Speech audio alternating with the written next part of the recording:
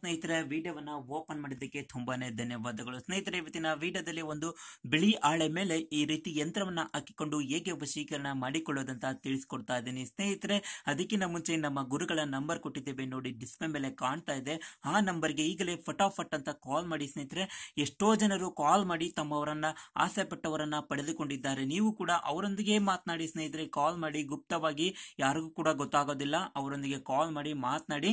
So ಇಂಥವರು ಬೇಕು ಅಂತ ಹೇಳಿ ಅವರು ನಿಮಗೆ ವಶೀಕರಣವನ್ನ ಮಾಡಿಕೊಡ್ತಾರೆ ಸೊ, ಕ್ಷಣ ಮಾತ್ರದಲ್ಲಿ ಅವರೇ ಬಂದು ಉಚ್ಚರಂತೆ ಪ್ರೀತಿ ಮಾಡಬೇಕು, ಅವರೇ ಬಂದು ಮೇಲೆ ಬೀಳಬೇಕು, ಹಾಗೆ ಮಾಡಿಕೊಡುತ್ತಾರೆ ಸ್ನೇಹಿತರೆ. ಖಂಡಿತವಾಗಲು ಎಷ್ಟೋ ಜನರು ಪಡೆದುಕೊಂಡಿದ್ದಾರೆ. ನೀವು ಕೂಡ ಪಡೆದುಕೊಳ್ಳಿ ಅಂತ ಹೇಳ್ತಾ ಕಾಲ್ ಮಾಡಿ ಅದಕ್ಕಾಗಿ ನಂಬರ್ ಅನ್ನ ಕೊಟ್ಟಿದ್ದೇವೆ ನೋಡಿ. ಸೊ, ಕಾಲ್ ಮಾಡಿ ಅಂತ ಹೇಳ್ತಾ ಅದಕ್ಕಿಂತ ಮುಂಚೆ ನೋಡಿ ಸ್ನೇಹಿತರೆ. ಪಂಡಿತ್ ಜ್ಞಾನದೇವ್ ಭಟ್, ಶ್ರೀ ಚಾಮುಂಡೇಶ್ವರಿ ಜ್ಯೋತಿಷ್ಯ ಕೇಂದ್ರ.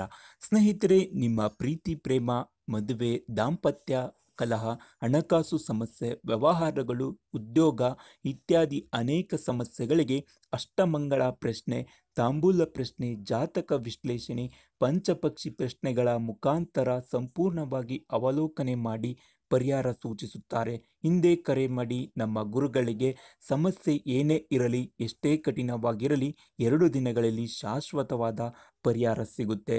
ನಿಮ್ಮ ಸಮಸ್ಯೆಗಳಾದ ಆರೋಗ್ಯ, ಹಣಕಾಸು, ಪ್ರೇಮ ಸಮಸ್ಯೆಗಳಿಗೆ, ಕಠಿಣ ಗುಪ್ತ ಸಮಸ್ಯೆಗಳಿಗೆ ಎರಡೇ ದಿನಗಳಲ್ಲಿ ಶಾಶ್ವತ ಪರಿಹಾರ ಸಿಗುತ್ತೆ.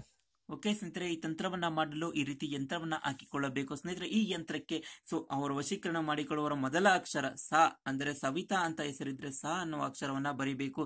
ಬರೆದು ಬಿಟ್ಟು ಸ್ನೇಹಿತರೆ, ಸ್ವಲ್ಪ ಕುಂಕುಮವನ್ನ ಹಾಕಬೇಕು. ನಂತರ ಸ್ವಲ್ಪ ಅರಿಶಿಣವನ್ನ ಹಾಕಬೇಕು ಸ್ನೇಹಿತರೆ, ಈ ರೀತಿ. ಈ ರೀತಿ ಅವರ ಹೆಸರ ಮೇಲೆ ಹಾಕಿ ಹಾಕಿ ಪೂಜೆಯನ್ನ ಮಾಡಬೇಕು. ಸ್ನೇಹಿತರೆ, ನೋಡಿ ನಾನು ಹಾಕ್ತಾ ಇದ್ದೀನಿ.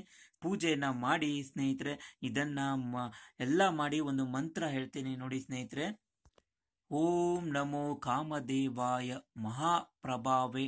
ಹ್ರೀಂ ಕಾಮೇಶ್ವರಿ ಸ್ವಾಹ ಅನ್ನುವ ಮಂತ್ರವನ್ನ ಹೇಳಿ ನೂರ ಎಂಟು ಬಾರಿ ಪಠನೆ ಮಾಡಿ ದೇವರ ಮುಂದೆ ಕೂತ್ಕೊಂಡು ನೀವು ಬೇಡಿಕೊಂಡು ನಂತರ ಇದನ್ನ ಮಡಚಿ ಸ್ನೇಹಿತರೆ ಸ್ಮಶಾನದಲ್ಲಿ ಹೋಗಿ ಹೂತ್ ಬನ್ನಿ ಸ್ನೇಹಿತರೆ, ಖಂಡಿತವಾಗಲು ನಿಮ್ಮ ಕಡೆ ವಶೀಕರಣ ಆಗಿರ್ತಾರೆ. ಇಲ್ಲವಾದಲ್ಲಿ ನಮ್ಮ ಗುರುಗಳನ್ನ ಕಾಂಟ್ಯಾಕ್ಟ್ ಮಾಡಿ ನಂಬರ್ ಕೊಟ್ಟಿದ್ದೇವೆ. ನೋಡಿ, ಅವರೇ ನಿಮಗೆ ಪರಿಹಾರವನ್ನ ಹೇಳ್ತಾರೆ.